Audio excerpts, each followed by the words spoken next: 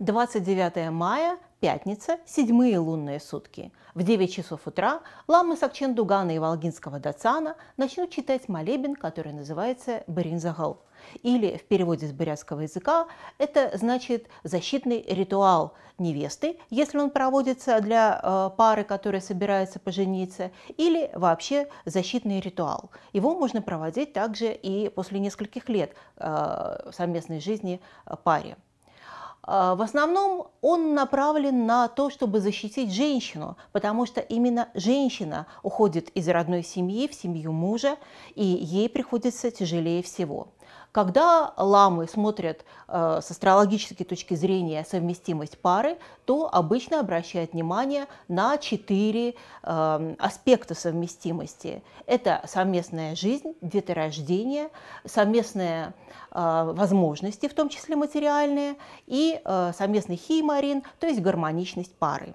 И интересно, что э, женщина отвечает за э, два эти, из этих аспектов. Э, ну, вы, конечно, догадаетесь, что за деторождение, но также и за э, совместные возможности, за материальное благополучие, э, потому что именно от женщины зависит, как будет проявлять себя мужчина. Мужчина, задумайтесь, когда вы женитесь над этим. Э, когда э, вы приходите и ламы смотрят ваш, э, вашу совместимость, то не всегда бывает так, что все эм, вот эти аспекты совпадают. Ламы говорят, что даже чаще всего совпадает один аспект. И для того, чтобы пара ну, каким-то образом притерлась друг к другу, чтобы вот эти вот эм, отрицательные э, возможности все ушли, ее отправляют на вот этот самый молебен, который называется Баринзагал. Пожалуйста, оставайтесь дома в эти дни.